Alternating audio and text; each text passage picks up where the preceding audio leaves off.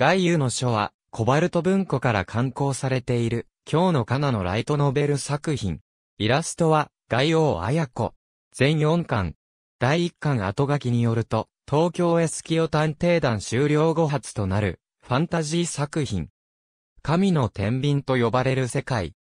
四方を目に支えられ、世界の中心にある大セラーラ3の上空で天に吊り上げられているという、この世界では、魔術は忌むべきものとされ、特に死者を蘇らせ灰かぶりとした魔術師は発覚し次第拷問にかけられた後、家計に処されている。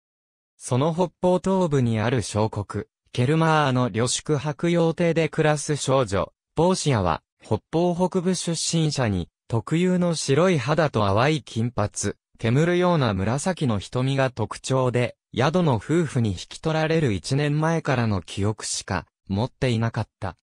彼女は死者を蘇らせる、バラの灰の秘宝によって生み出された灰かぶりだったためである。それを知るのは、現在の養父母たる宿の夫婦のみ。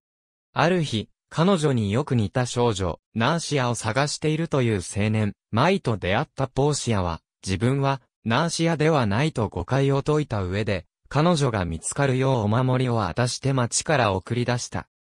その後、彼女によく似た、魔術師を魔術師とし、憎んでいるハイカブリのハルフェルーによって、その秘密が暴かれてしまい、町から逃げ出さざるを得なくなったポーシアは、放浪の果てに、魔術主が追い求めたものと、自らの正体を知る。バラの灰に祈りを、バラの灰に恋がれバラの灰は闇に、バラの灰は雪に。ありがとうございます。